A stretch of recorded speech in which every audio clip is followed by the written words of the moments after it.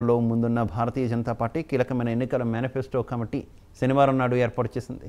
కేంద్ర మంత్రి రాజ్నాథ్ సింగ్ అధ్యక్షతన ఇరవై ఏడు మందితో కమిటీని ఆ పార్టీ జాతీయ అధ్యక్షుడు జేపీ నడ్డా ప్రకటించారు. మేనిఫెస్టో కమిటీ కన్వీనర్గా ఆర్థిక మంత్రి నిర్మలా సీతారామన్ కో కన్వీనర్గా పీయూష్ గోయల్ను నియమించారు.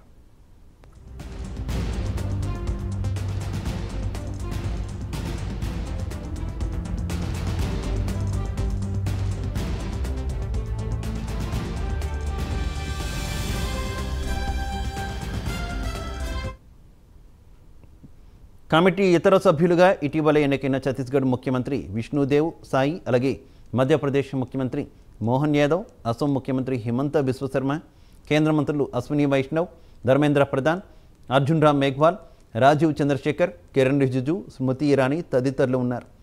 ఏడు దశల్లో జరిగే లోక్సభ ఎన్నికలు ఏప్రిల్ పంతొమ్మిదిన మొదలై జూన్ ఒకటితో ముగియనున్నాయి. జూన్ నాలుగున ఎన్నికల ఫలితాలు వెలువడతాయి.